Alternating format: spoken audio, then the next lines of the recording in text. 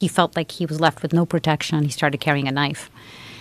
And his parents were killed by an assassin, by the way, as well. Um, and he, and then eventually he got involved in the drug business. And then eventually people were paying him to go out, paying him much more money to go out and kill. And he says, yeah, at the beginning I had to get drugged and drunk to be able to do it. Um, but now I'm used to it. I'm cold blooded and I'm, I'm used to it. And we started talking about the cycle of violence, right? Because he also said he doesn't kill women and children. And I asked him, but do you realize that you are traumatized from the experience that you had that your parents were killed? And now you're doing the same thing to other kids. He's like, I actually never thought of that.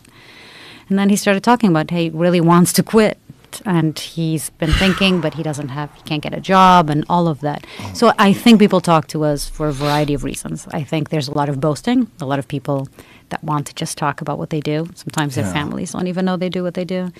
I think in places like Sinaloa, where I've spent a lot of time with the cartel, it's impunity. They don't see a downside because the authorities aren't really going to do anything, even if they know who they are. Wow. And How do you end- feel safe in a place like that?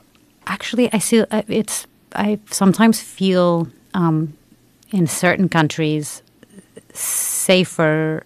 Um, in Sinaloa, for example, if you are, if you've give, been given the green light to go into the cartel, the territory controlled by the cartel, to talk to cartel members, um, and it takes you know weeks, months, sometimes years to get that access.